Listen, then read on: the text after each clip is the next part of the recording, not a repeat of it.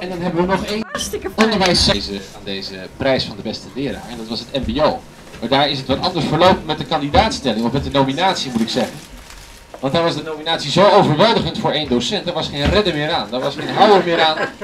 Uh, daar konden we net zo goed gelijk naar de nominatie mee stoppen. Dat hebben we dan ook gedaan. Althans gewoon de knoop doorgehaakt. Ja, dit moet hem zijn. Als zo overweldigend wordt genomineerd. Ik ben al zes jaar docent en tot mij niet geen verbaasd heb ik in de workshop al gezegd. Het is een fantastische baan. Die kinderen houden me echt levend. Dat is de enige reden waarom ik elke dag met heel veel zin naar school ga. Ik ben uh, Annemieke van der Kooi en ik ben uh, wat we noemen programmamanager uh, van het programma Rotterdam. beter presteren in Rotterdam. En waar dat eigenlijk over gaat is dat de scholen en de gemeente samen hebben afgesproken. We gaan zorgen dat alle leerlingen in Rotterdam nog een stapje hoger beter opgeleid van school komen. En dan gaan we de komende vier, daar, vier jaar heel veel aandacht aan besteden. En we hebben allerlei dingen bedacht om dat beter te laten lopen. Om de leerlingen te helpen en de scholen te helpen om beter te presteren. Uiteindelijk zijn zij de sterren, dames en heren.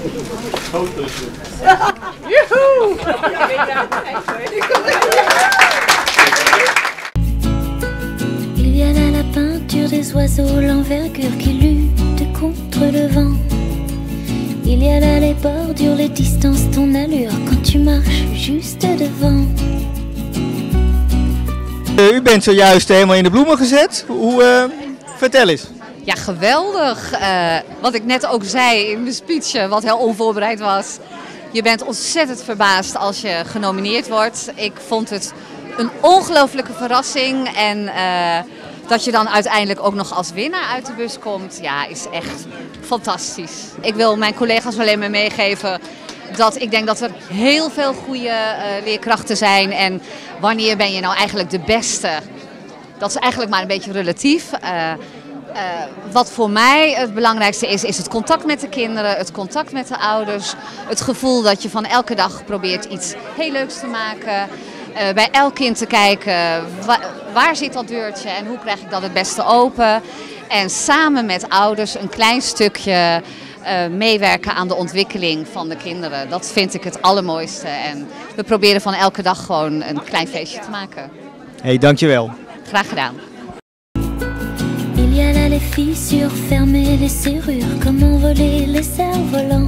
Nou, ik ben Shaman Jones, ik ben 20 jaar. Ik ben uh, twee jaar nu SAB-leerling van meneer Van Joost. Meneer Van Joost heeft mij echt ondersteund om uh, mijn opleiding mee door te gaan. Um, doordat ik, laat maar zeggen, problemen had met de kleine van mij. Ik moest vaak naar het ziekenhuis heen en weer rennen, waardoor hij mij vrijstelling heeft gegeven. En waardoor ik toch mijn opleiding thuis kon afmaken om opdrachten te doen. En waardoor ik nu toch bezig ben met mijn opleiding. En nu zeker ga afronden. Hugo de Jonge, je hebt net een belangrijke prijs uitgereikt. Wat, wat was het voor prijs? Het was de prijs voor de beste leraar van Rotterdam. De beste leraar in het basisonderwijs, in het voortgezet onderwijs en in het middelbaar beroepsonderwijs. Is de eerste keer dat zo'n prijs is uitgereikt? Ja, het is de allereerste keer.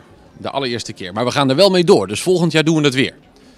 En waarom heeft de stad Rotterdam het initiatief genomen om zo'n prijs uit te reiken? Waarom is dat belangrijk? Om daarmee te onderstrepen dat we leraren ontzettend belangrijk vinden. We hebben in Rotterdam heel erg veel jonge mensen, heel veel kinderen wonen er in Rotterdam. En, uh, en die kunnen allemaal heel veel, die hebben allemaal talent. Maar we hebben wel die leraren nodig om dat talent ook te ontwikkelen. En daar zijn we trots op.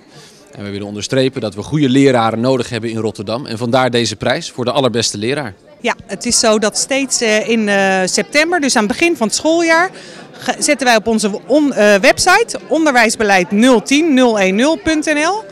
Daar kun je heen gaan en daar kun je stemmen op een aantal leerkrachten. En daar kun je ook je eigen meester of je eigen juf voordragen. Je kunt niet zomaar zeggen het is zo'n gezellige meester. Dan moet je er wel een beetje een verhaaltje bij schrijven. Van hij kan ze goed uitleggen of ze is ook geïnteresseerd als ik problemen heb. Of ik kan ook per e-mail altijd bij hem terecht. Of nou, noem maar op. Eh, als je dat doet, dan kun je je eigen meester of juf voordragen. En als je dan zorgt dat de hele klas stemt en alle ouders en nog een hoop collega's, nou dan eh, heb je best kans dat jouw juf of meester wint. Nou, hartstikke leuk. Ja, dankjewel. Leuk. Ja, dankjewel ook. Oké. Okay.